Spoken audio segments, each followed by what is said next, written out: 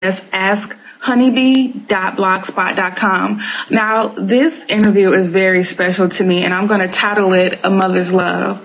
On the phone is actually my mom, and she agreed to do an interview with me today. Now, the purpose of this interview is to strictly show how people can have a difference of views, but at the end of the day, I'm her daughter and she still loves me, and that's why I call it a mother's love. Say hi to everybody, Mom. Hi, everybody. Okay. Now, everybody knows that my mom is the number one person in my life. And without her, I don't know where I would be. So we're going to talk openly about my sexuality today. And the reason that I'm actually um, allowing my mom and my relationship to uh, be public is not in any way to exploit our relationship, but it's just to show the bond that we have. And hopefully this will help some people out if a mother is listening or if someone else is listening and they're having a hard time trying to um, talk with their parent. Now, um, to start it off, Mom, um, how was I, what was I like growing up as a child? How was my personality?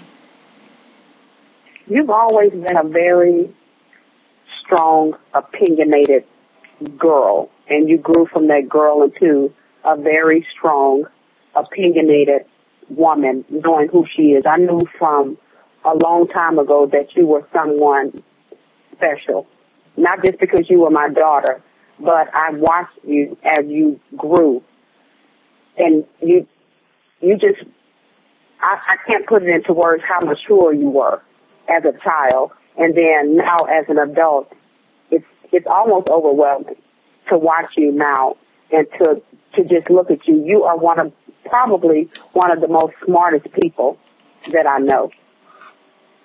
Oh, thank you, mommy. So, you're welcome, sweetie. What what would you say? What would be a proud moment if you could name anything really quick that stood out to you from when I was a child? Mm, I have so many, but going through what I went through, and you, I went through it, you know what I went through being married, and it, it wasn't good. But to see you handle that and to talk to me like you were an adult and let me know that, you know, mom, this is not the right thing to do. You're, you're not making good choices. And I know that had to be hard for you to say to me, and it was hard for me to accept coming from you being my daughter and you being a child. But in a lot of ways, you made me who I am today because I still could be stuck in a, a bad, bad place. But seeing you just grow and grow and grow, and I had to look back and say, Shelly, what are you doing? Look, look at your children. They, they need something more because you were more, I was more than that, and you deserve more from me.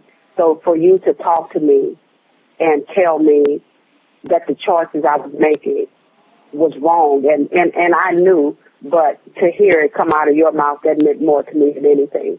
And I thank you for that. I love you. Now, what? I love you too. Let's fast forward, and as an adult, would you say that I? Mm-hmm. You, I know that you know I have a, a, strong personality, but what stands out mm-hmm. to you? Something that's in my adult life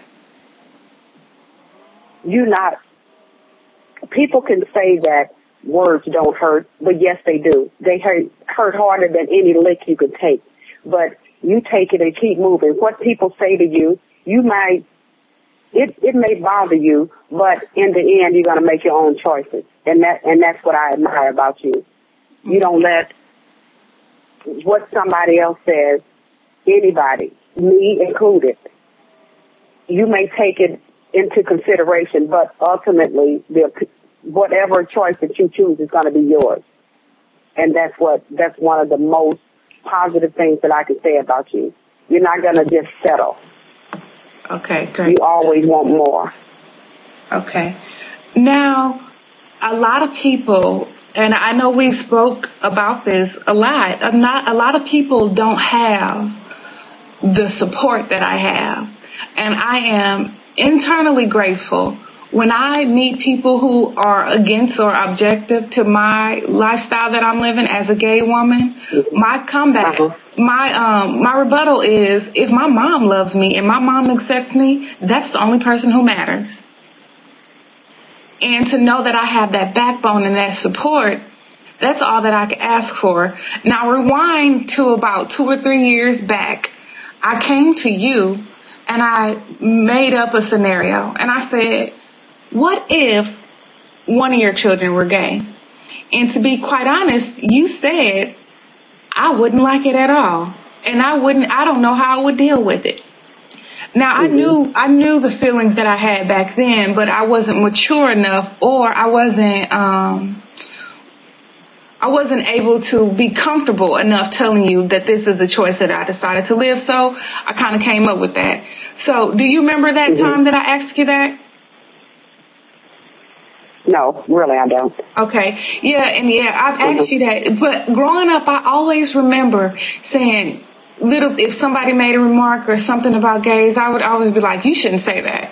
Or you shouldn't say that. And even dealing with But it, you had that opinion about anybody. You had that opinion about race, mm-hmm. About sexuality. You had an opinion about everything that wasn't, I can't say right or wrong, but if people had an opinion about somebody, that was just their opinion. Mm-hmm. And you've always said that don't call people this or don't call people that. Right. You've always been like that ever since you were a child. And I pride myself in being an advocate for everyone, not just, you know, mm-hmm. gay people or black or white. I, I mm-hmm. never like people talking negatively about anybody just because of the way they mm-hmm. look or the way they choose to live their mm-hmm. life. Now, uh-huh. um, getting even a little bit more deeper, when I decided to live my life as a gay woman, I didn't immediately come to you. And I don't think that it was, it's a negative thing that I didn't immediately come, nor, nor 100% positive. I had to come to you in the way that I felt comfortable, but I love from the bottom of my heart that you knew me as your daughter, that you knew even mm-hmm. without words how I had chose to live my life. And you would ask mm-hmm. me, Brandy, do we have something to talk about? Do we have something to talk about? And I would always be like, I wouldn't say no, but I would just be like, mind your business. So what made you think that I was dating women? I, I didn't know you were, but I just knew it was something. I couldn't put my finger on it, but I just knew it was something that wasn't Brandy. The Brandy that I knew. Okay.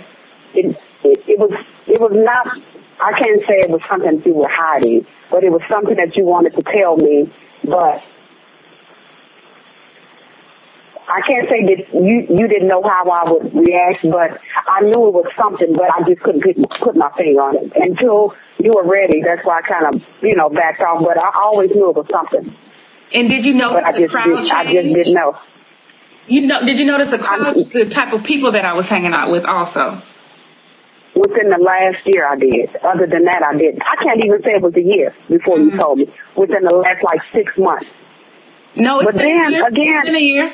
No, but then again, I can't say then because you've always had friends, no matter who they are, or what they were. Mm-hmm. So I, I, I didn't know.